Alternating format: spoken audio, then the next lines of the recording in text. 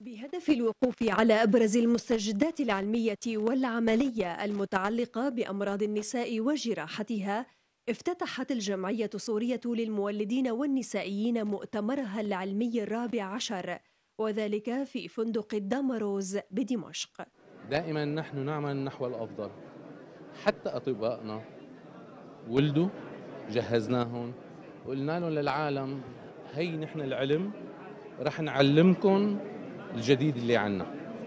لذلك أنا بقول للعالم كله أنه سوريا ولادة وبكون مستمرين بجهود أطبائنا وتدريبهم وتأهيلهم وإعطائهم العلم المتطور. نحن دائما بنقول للعالم نحن الأول وما رح نكون غير الأول. حقيقة المؤتمر بتناول أحدث المستجدات في مجال النسائية والتوليد. وكان مقسم لعدة جلسات.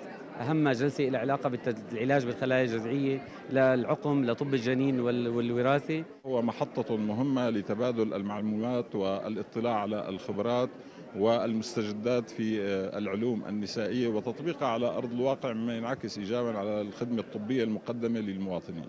دائما المؤتمرات تثمر عن إيضاح المستجدات العلمية الحديثة ووضع النقاط على الحروف في بعض البروتوكولات اللي مجبر الإنسان أنه يتخذها أو يمارسها في الآفات المستجدة.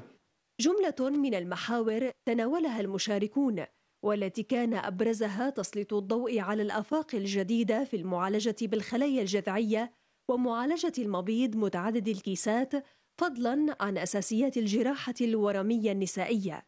كما رافق المؤتمر معرض للتجهيزات الطبية والدوائية سلط الضوء على نشاط المؤسسات الصحية والدوائية وتم تكريم الأطباء المتميزين.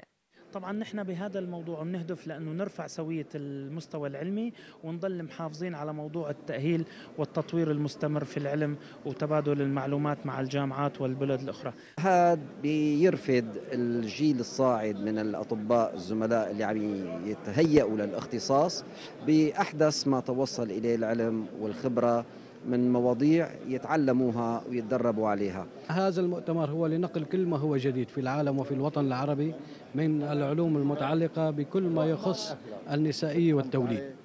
في كل ما تقدمنا وهي نقل حتى التجارب الشخصية على مستوى الوطن السوري وعلى مستوى المشافي الخاصة. مؤتمر علمي نوعي تناول أهم المقترحات التي من شأنها رفع سوية الأطباء لضمان تقديم أرقى مستويات الخدمة الطبية الوقائية في مجال الصحة الإنجابية ما يشكل رسالة إصرار على العطاء رغم كل الظروف